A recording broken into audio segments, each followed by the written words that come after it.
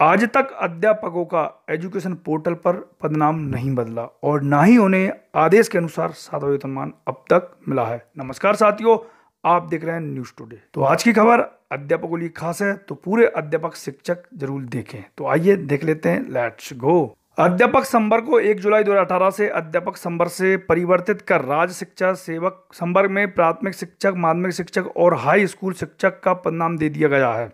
लेकिन सरकारी education portal पर एवं सरकारी आदेशों में आज भी अध्यापक ही लिखा जा रहा है।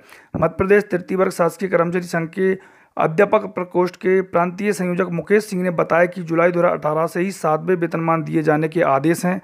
उसके बाद भी प्रदेश में लगभग नब्बे फ़ीसदी अध्यापकों को राज्य शिक्षा सेवा में शिक्षक संवर्ग में शामिल तो कर लिया गया है, लेकिन ना तो सातवें वेतनमान का लाभ मिल रहा है और ना ही पदनाम का उपयोग किया जा रहा है। शासन द्वारा आज भी एजुकेशन पोर्टल व अन्य शासकीय आदेशों में अध्यापक संवर्ग ही अंकित किया जा रहा है, जिससे अध्यापक अपने आप को ठगा से महसूस कर रहे हैं। ना तो उन्हें इस संवर्ग का पदनाम मिल रहा है और ना ही आर्थिक लाभ।